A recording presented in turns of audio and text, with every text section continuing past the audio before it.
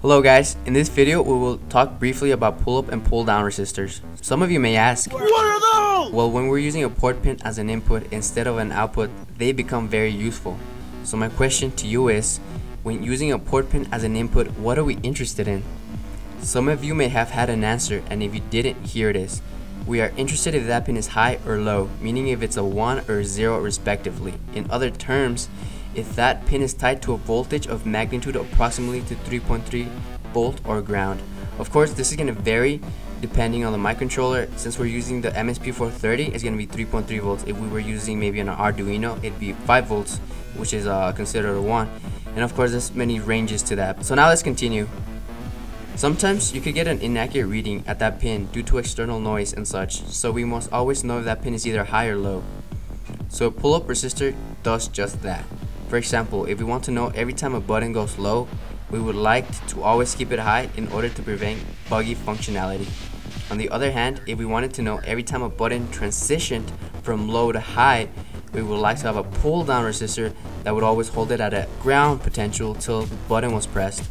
So now let's take a look at this picture. On the top, we have a pull-up resistor tied to a pin on a microcontroller.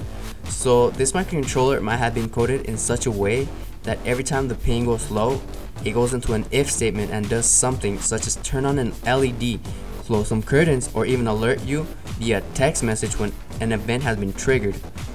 Let's move on to the pull down resistor, uh, which is the red one on the bottom.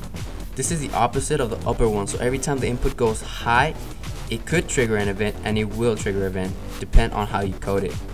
Let's keep in mind that the MSP430 uses high logic on its onboard button, which means that the button is always tied to 3.3 volts.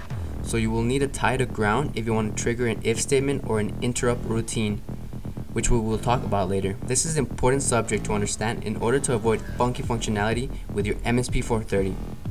You must always enable a pull up or a pull down resistor on an input pin if you want to avoid future headaches.